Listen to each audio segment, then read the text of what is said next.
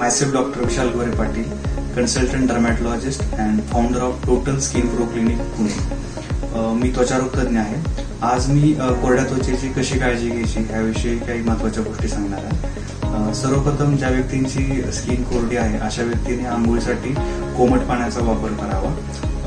अति थंड किंवा अति गरम पाण्याचा वापर टाळावा.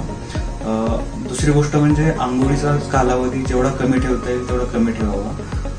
साधारण पाच ते सात मिनिटात आंघोळ होणं आंघोळ आटोपणं गरजेचं आहे.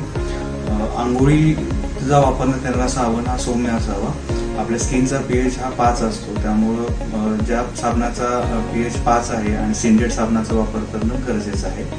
आंघोळीनंतर टॉवेलनी आंघोळ चो- चोळून कोरडं करण्यापेक्षा टॉवेलनी पाणी वरच्यावर टिपून घेणं गरजेचं आहे. आणि अशा मऊ अंगावरती बाथरूममध्येच मॉइश्चरायझिंग लोशनचा वापर करणं गरजेचं आहे.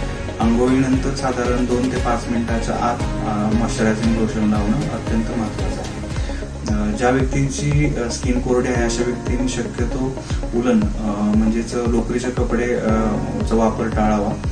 आणि कारण त्याने अजून स्किन कोरडी होण्याची अजून शक्यता जास्त असते.